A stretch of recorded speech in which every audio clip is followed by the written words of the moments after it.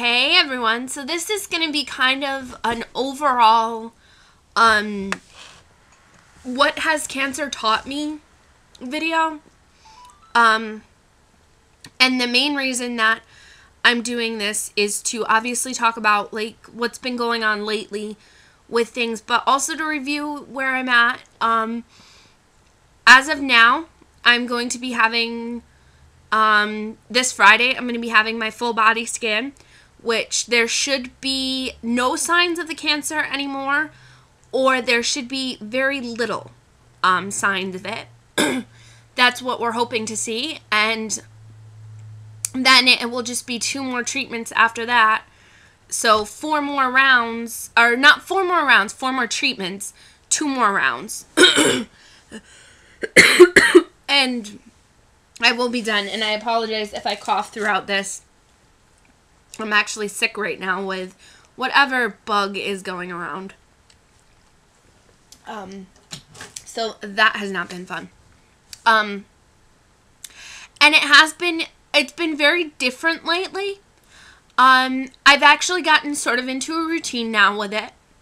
I found that on chemo days, it's a lot easier if I kind of either stay up part of the night so I don't get that much sleep, so I sleep. Um, or I, I simply just go to sleep through the entire treatment, and it actually works out really well. Um, this past treatment, I happened to go to sleep before they even started the chemo drugs, and I woke up, I was on the last, the fourth drug, I had like maybe 15 minutes left of the treatment to go. And that was it. It was said and done. Um, and I've noticed that that's been working for me and that I'm able to stay awake for the rest of the day and I'm able to go out. Um, I'm able to do things um, and just interact with the world. Um, the nausea, my nausea's been slightly off um, and it has gotten a little worse. Um, and that I have had to take more anti-nausea pills and I am on a new one um, we prescribed me something different because the other ones I had just weren't helping anymore. Um, I have been, this past weekend, I've been um, using a lot more Percocet than I have as of lately. Um, I try not to use any pain meds, including Tylenol, um, just because I don't like being in the habit of taking pain meds for pain. However, I've been dealing with a lot of um, hip and joint pain lately. So it's very hard sometimes for me to um, sit in certain positions or to go from sitting to standing. I will um, usually walk a little hunched over sometimes if I get up like from the couch um, and all of that. Um, my hair has been at this point, it's growing back in surprisingly already. Um, I did just recently shave it again though because it was getting unruly and cancer patient-y and I I'm sort of like when it's like this, I can deal with it when it's short. The the way it is now, um I feel a lot better about it and I don't mind um not having the hair there but when it's just unruly, I look in the mirror and no matter what I do, it's just, ugh, horrible. Um, so that's what's been basically going on with that. And I can't believe that it's almost over already. And honestly, this this has just flown by. I mean, you know, when I first got diagnosed and it was you're going to have 6 rounds for a total of 12 treatments, it was like, wow that's a lot. And now, you know, it's you have four treatments, two rounds left, and it's like, where has the time gone? and I've also come to form a little cancer family in that I know exactly, I know the receptionist who checks me in, I don't even have to say my name. She already knows me when I go in there.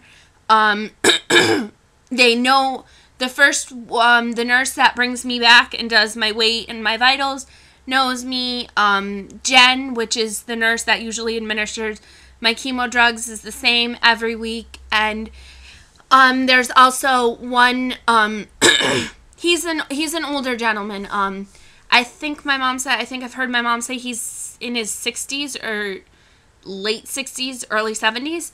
Um, and we've actually become good friends with them. It's um sort of become it's become common for us to sit across from each other. And there was actually one day that I chose to sit in a different area and I didn't even know it, but I was sleeping during the day and my dad actually went over and talked to the guy because he was so worried because he didn't see me there.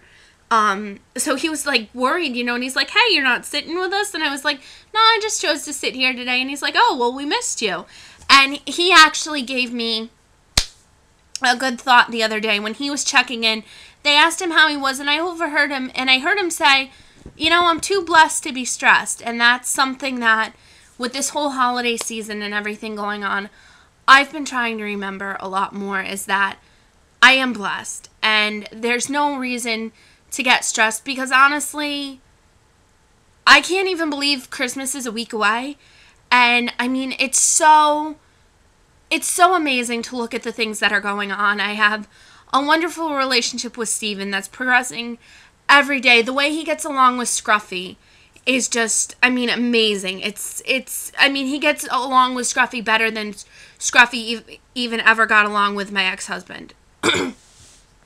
and I have, you know, wonderful family, you know, that is supporting me behind all of this. You know, Michael's going to be 18 months on Christmas Eve and he's growing like a weed. He's saying more words every day and he's interacting more and Nick's going to be 7 next year and it's like where does time go? I mean, you know, he's grown up so much, you know, now that he's in school and he's he's just changed so much and it's so amazing to watch both of them grow and to interact with them and do everything that I get to do and be so blessed in all of the ways that I am blessed and in doing all of the things that I am doing. So, I, you know, I really am too blessed to be stressed and I try to keep that in my mind on the days when, you know, I want to post a Facebook status and the only thing I can think of to post is negative stuff. And I mean, yeah,